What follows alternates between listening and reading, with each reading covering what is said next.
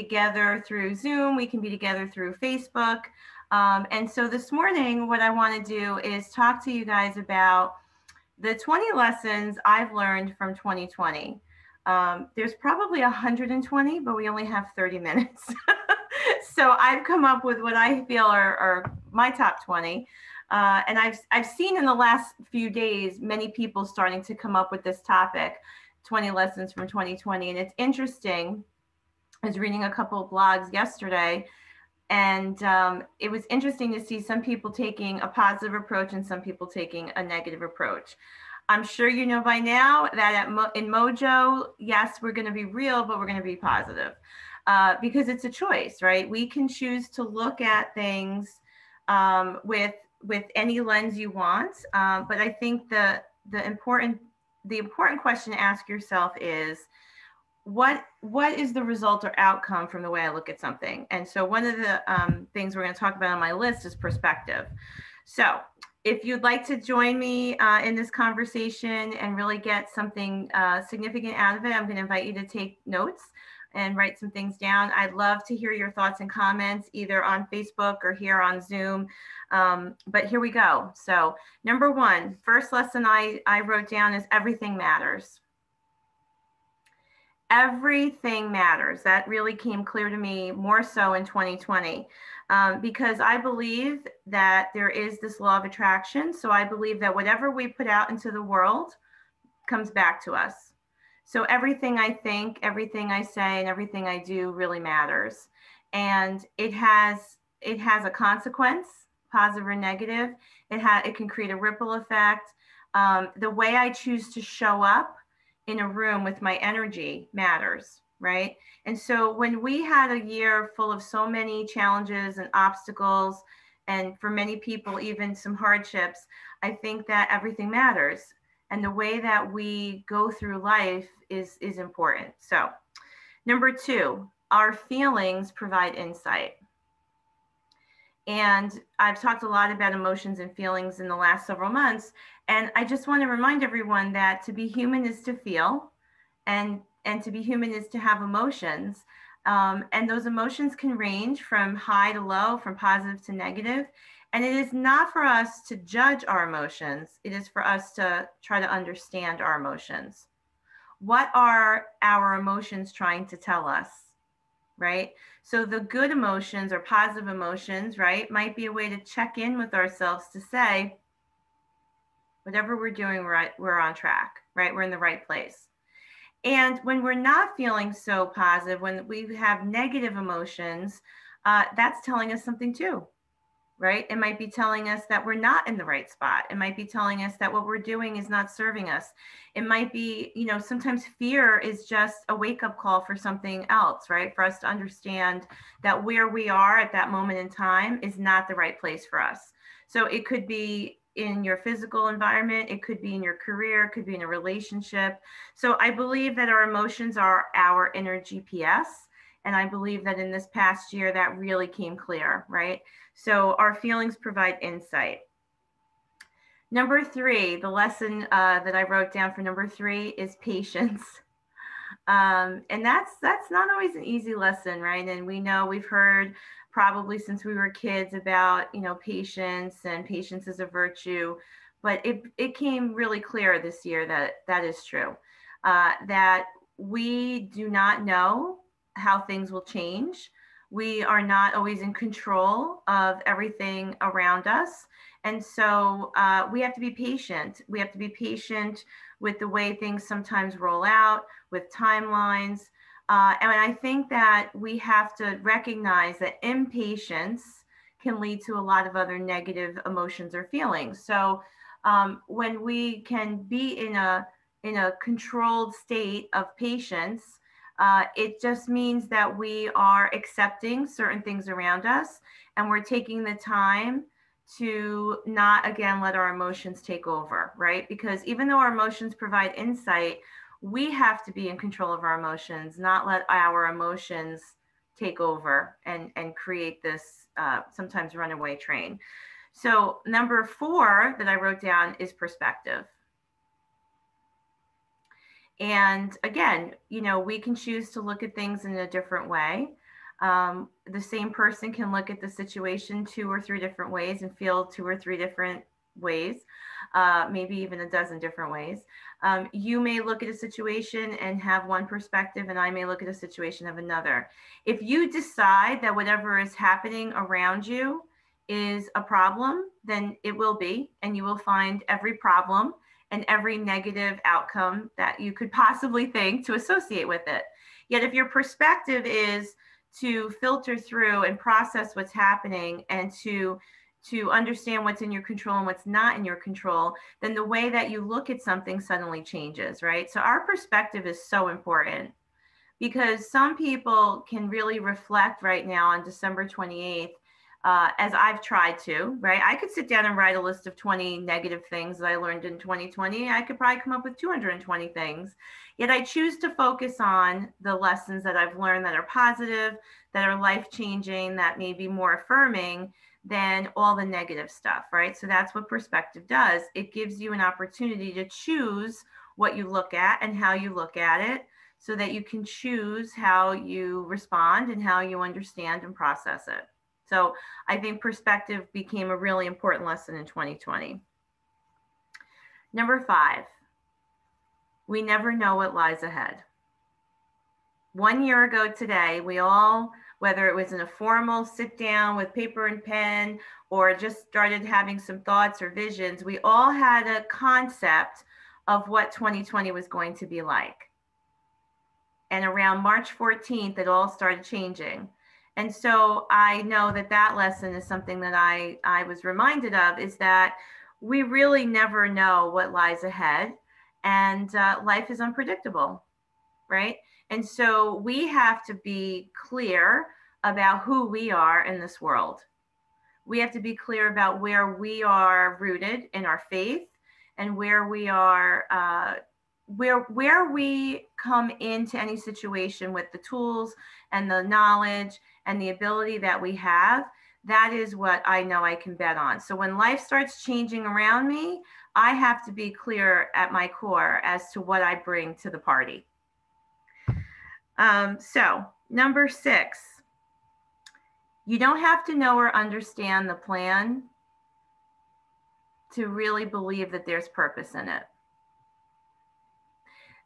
Countless stories from the beginning of time about what someone set out to do and what it actually became, right? Was not the plan. And so we have to believe that whatever the plan is, that we may not always be in control and yet there is purpose in every in everything that's going on right and so we don't have to know necessarily what that purpose is. We just have to believe that it's happening for re- for a reason, right? And that we will find the purpose along the way. Okay, number seven. This is in no importance of order. It's just what started coming to me. Um, but I believe a lesson that we can all say we've learned in 2020 is health is, is everything, right? Health is everything. Um, we have seen people suffering from COVID 19 um, directly and indirectly. And, you know, while we do know that there may be some health risks, right? There are some people who are in a uh, more uh, risk category for COVID. Um, you know, it's it's really health is everything. So um, I have a new perspective on that around maintaining my my immune my immunity, my immune health, my physical health, emotional health, right? Because if if our health is not in a good place, we are not at the full capacity to fight off anything, right? So even mental health, right? If our emotional and mental health is not where it should be, then we are not equipped to always fight off some of these things happening around us. So I think health is everything. So in 2021, you know, what are what are the plans for just staying in good health or improving our health, getting more physical activity, getting to the doctor more often, vitamins, whatever it means for you. But I believe we can all agree that health is everything. Number eight, we've talked about this on Mojo a few times. Life is figure outable. Uh, Marie Forleo penned that quote. So life is figure outable. That means that even though we may not know what's coming down the road, even though we um, you know, are going to be faced with challenges that might be painful or difficult, uh, we have to believe that we have what it takes to figure it out. Even if it means we have to learn a new skill or we have to talk to someone else who can show us the way, we can figure it out. And I think every one of us can believe that today because we've gotten through this year and we've had to figure out a lot of stuff along the way. And we did, and we figured it out. So life is figure outable. Okay, number nine, change is inevitable. If we're not changing, we're dying. Life is about changing. Look around you, everything is changing. The grass changes, the leaves change, your hair changes, everything changes. Uh, people come and go in our lives, in politics and government. Uh, seasons change, we grow. Change is inevitable. And yes, 2020 had a lot of change.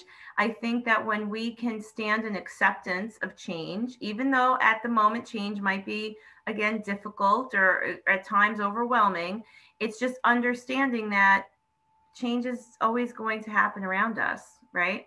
So we have to accept that change is inevitable. Number 10, the people you love are everything. Whether those are family members, friends, the people who are important to you, and it doesn't matter if the list is short or long, but whoever is in your heart as a loved one, they are everything. So show them that you love them, tell them that you love them, provide them with that space of gratitude and grace because change is inevitable. We don't know what may happen. And I think that we only have our, our moments today. And so, whoever is significant to you, whoever means something to you, tell them. Number 11, your home is your haven.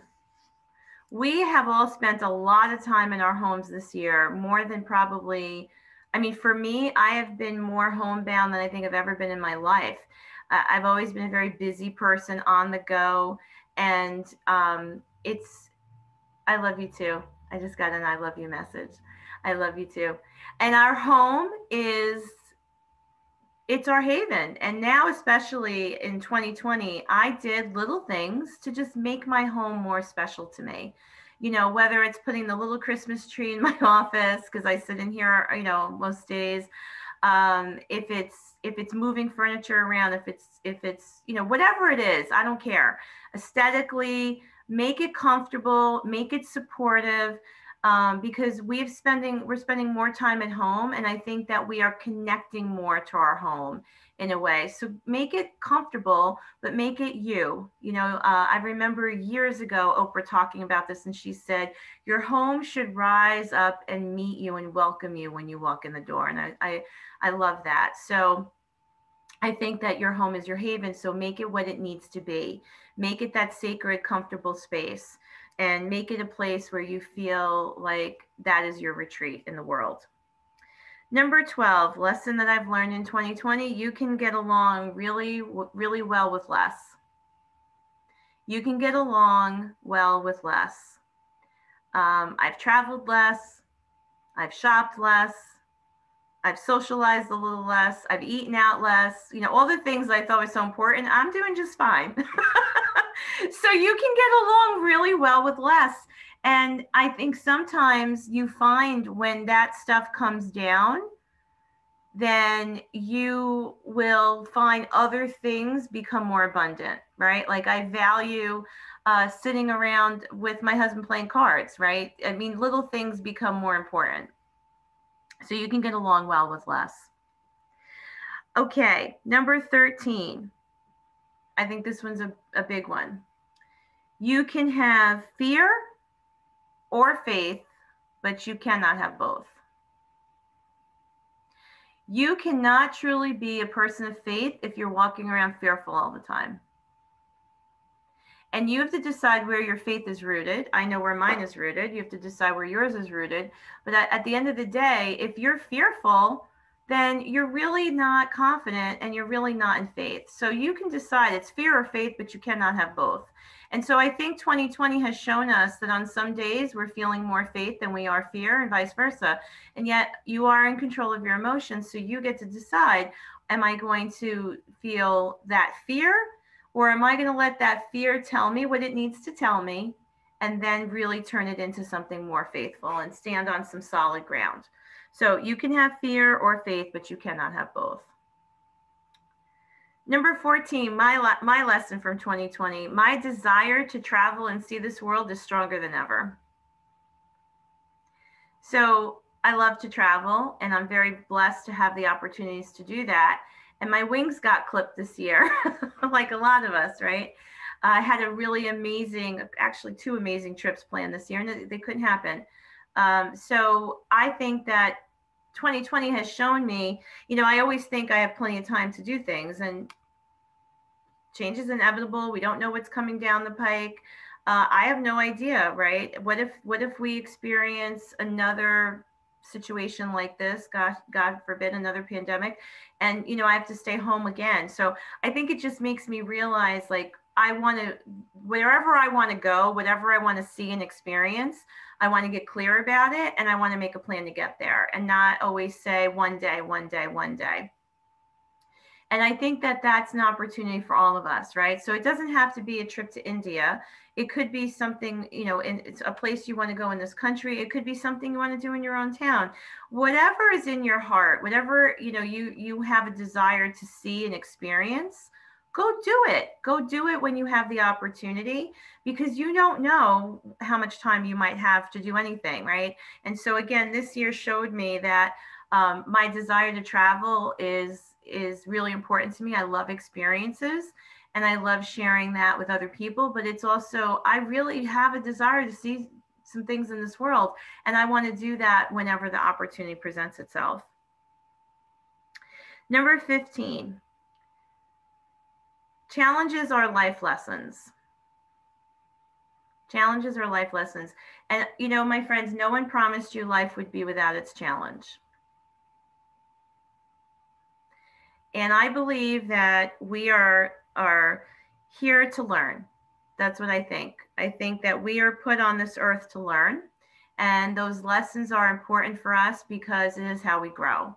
And so challenges are here to teach us something. And if if you go through any kind of challenge, strife, tragedy, conflict, and you can't walk away from it or get to the other side of it and look back and say here's what i learned then i'm i feel that what you went through was really fruitless right there's no meaning and so i i, I know that there are some things that can happen in, in our lives and all of us can can share stories of things that were really hard really painful yet there's a lesson in it if you allow yourself to see it and feel it and learn from it and so I think that in 2020, we have to get clear about what the lessons were.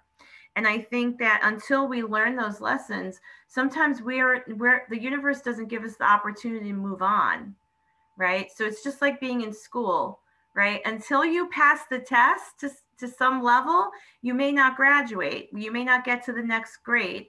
And so I believe that challenges are life lessons and that we're here to learn and we're here to use that knowledge now to create a better opportunity for ourselves and other people, right? So, whatever you learn, how will you take that and apply it and make it better? How will you come out a better person? How will you then use that to improve the world around you and to support people around you? Um, because without having that, uh, it could seem pointless. And that's that would be the tragedy more than the event itself, is if you were unchanged by it. Right. So I believe that challenges are life lessons. And no one can do it for you. That was the other thing I just saw that I wrote in my notes. You know, you you can't pay someone else to do sit-ups for you. it doesn't work. You have to do your own sit-ups, right? So that's how it works in, in terms of challenges in, in, in life. Okay, number 16. Our brain cannot always be trusted. Your mind is a scary place, and I don't recommend you go there alone too often. I think in 2020, we've all found ourselves at one point or another overthinking, over processing. And that can lead to a lot of things, right? So I think that we have to realize that our thoughts can be changed by our emotions. our thoughts can be changed at any moment in time. So we have to be aware of what our mind is really focused on because our brain can really start to overthink and get carried away. So you can't always trust your own your own thoughts. Number 17. We need boundaries. 2020 showed me we needed boundaries. Uh, and there were so many things going on in this world to show us we needed boundaries, right? From physical boundaries, emotional boundaries. Um, there were certain conversations I had to say to people, I'm not getting involved in that conversation, whether it was political or whatever, right? So we, I believe boundaries are healthy. And I believe that boundaries, boundaries are not meant to keep people away Boundaries are meant to show people the way. I'm going to say that again. Boundaries are not meant to keep people away. They are they are to show people the way. So in other words, a lot of people stress out about creating boundaries around themselves because they think that it's being, you know, mean or we're we're putting people off and we're keeping people back and that's not the case. It's not meant to keep you away the boundaries I set are meant to show you how to treat me. And boundaries are to show me how I want to be treated, right? So I believe that boundaries are healthy. Okay, they show people the way to treat you, to love you, to support you, to communicate with you, to spend time with you, right? And boundaries are healthy. Boundaries are necessary to keep things in balance. Whether it's a relationship, whether it's an event, whether it's a, what's in 2020, it taught us health, right? Boundaries are meant to keep things in perspective and to keep things in balance. So boundaries are really healthy. Number 18, life is full of choices. We saw a lot of that in 2020 life is full of choices right? From how you choose to respond to things how you choose to live your life lead your business set your boundaries whatever.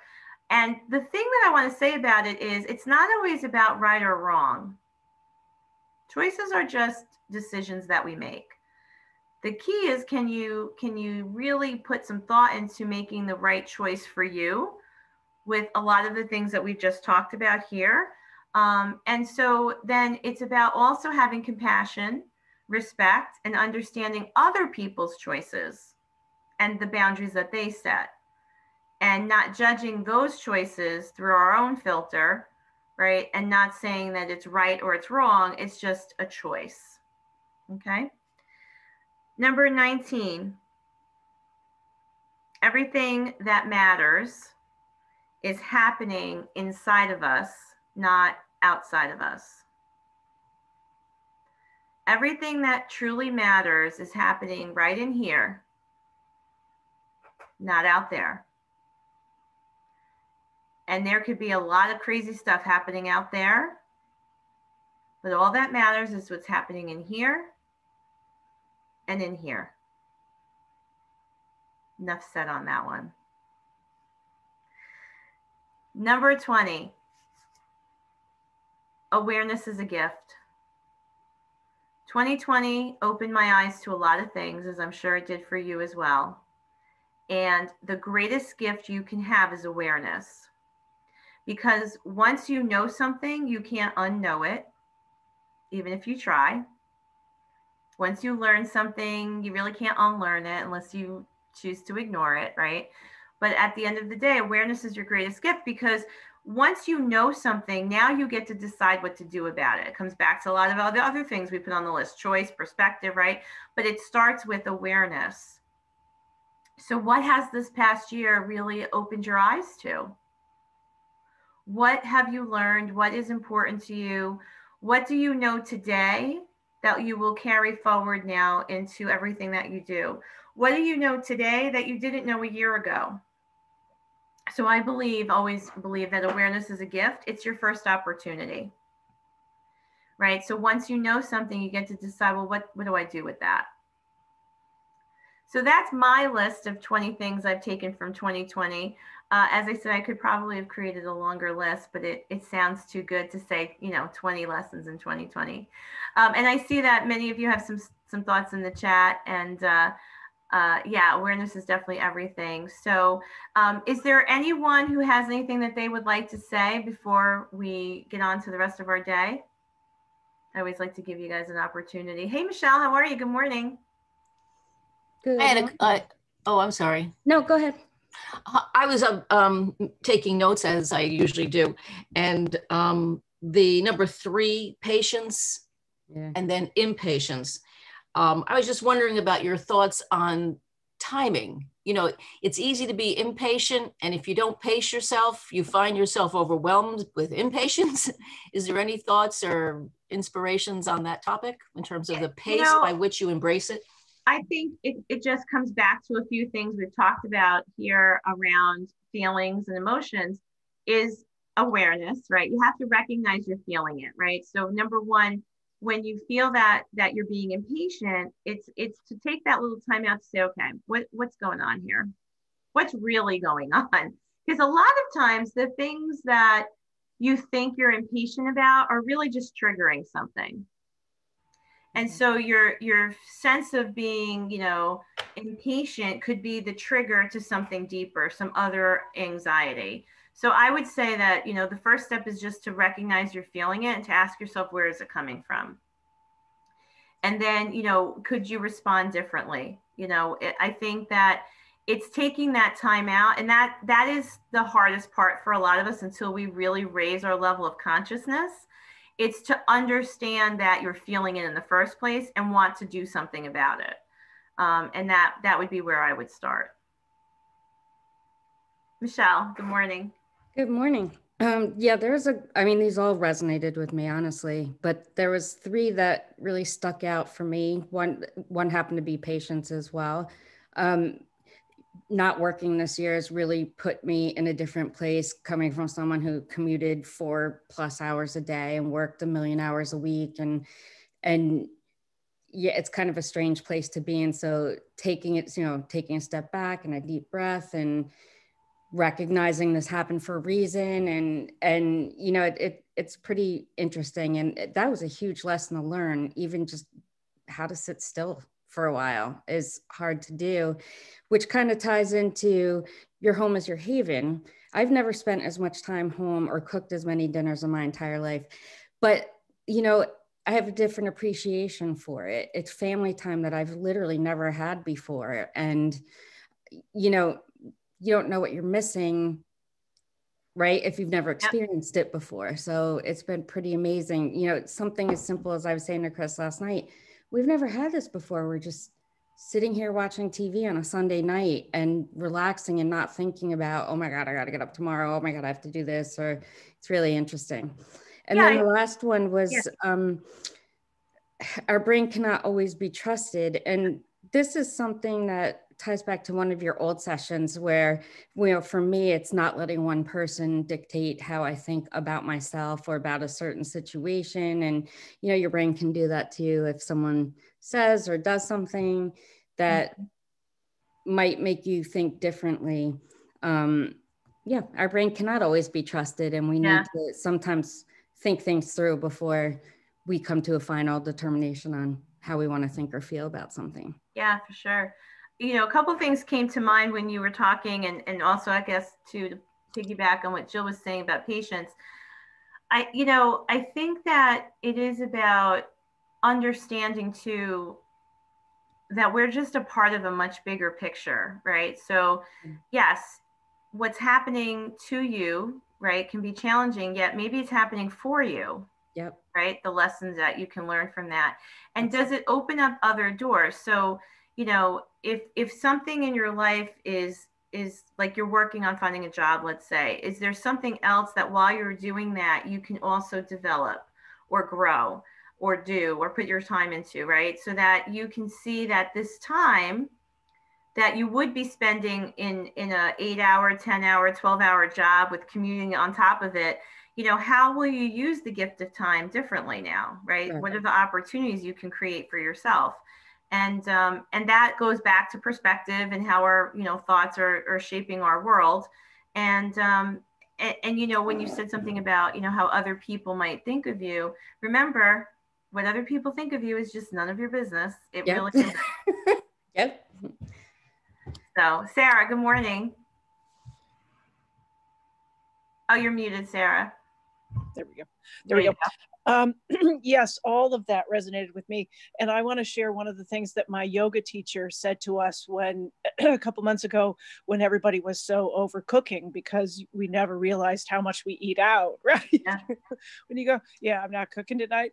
Um, but she said, flip that around and think, I get to cook all of this delicious food. Um, you know, and and it's it's what we have, not what we lack. Absolutely. Beautifully said. It's not it's not what you have to do it's what you get to do. Yeah. right? And so it's about looking for the blessings in everything. And and realizing you know whatever our challenges are we're not alone. There there that there are people you know we're all challenged by the events of this year in different ways certainly but we're all challenged by it. And so really how will you grow because of it how will you come out of this a better person a better partner a better business person a better parent a friend whatever? And and i think that's really the opportunity. That is really the opportunity. Robin i see you have your hands up. Good morning.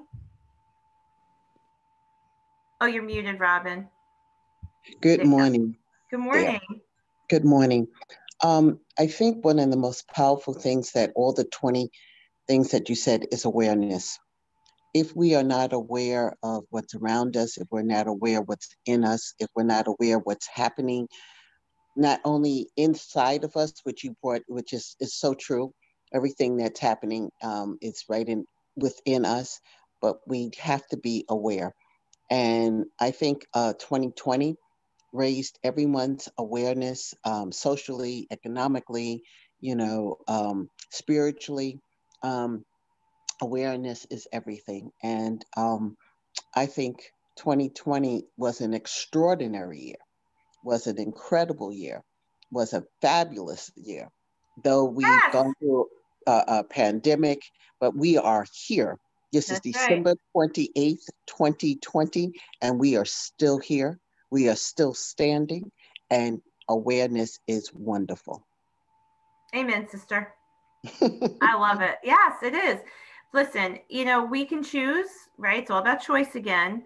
We can choose to put our head in the sand on a lot of things, on a lot of topics, on a lot of what's happening around us. And while I am saying again that what is happening around you is really what's happening in here and in here, not out there, uh, it's it's about making the decision to be aware, to be awake to be awake. That's another way of looking at awareness is awake and awakening, right? You can be a little asleep at the wheel or you can be totally awake. And I think that 2020 was a wake up call for us in a lot of ways and, and in many, many ways. And so now you have this opportunity to do something about what you've what you've taken from this year, what you've learned from it. Um, you know, so I love that some of you have like a top three. So I'm going to be your coach right now. So if I was your coach, I would tell you choose the three that resonate with you the most from this list. And if you want to create your own list, create your own list, but choose the top three lessons that you really want to do some work on, that you want to really draw down on, pull apart. And what will you do with that learning, with that understanding, with that new knowledge? How is that going to create a springboard into 2021 and the, the goals that you're setting and the things that you want to learn and grow, right? I hope that you're all creating a personal growth plan so that you can choose something each month to focus on, whether it be a book, a class, an experience, whatever, that will help you grow more in those really important areas of your life that that relate back to the wheel of life. All these resources can be found on the Mojo Facebook page in the file section too, by the way. And so, you know, I create this personal growth plan every year so that I can see growth in my professional life, in my relationships, in my spirituality, in my health and wellness, in my finances, all those areas of our life that we know are really significant. And so um, maybe this is a good springboard into that. All right. So Sarah, do you have anything else to say or is that from before? That was from before. I'm sorry. No worries. Well, I just want to say uh, Happy New Year. Just a few days left to 2020. Celebrate all of the opportunities and all of the lessons and all of the challenges that were presented to you this year.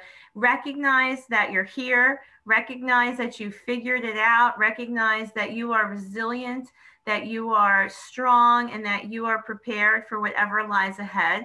And celebrate the fact that even though the calendar is flipping to a new month, it's really day by day. It's not about you know the, the new year. It's each day that you get up.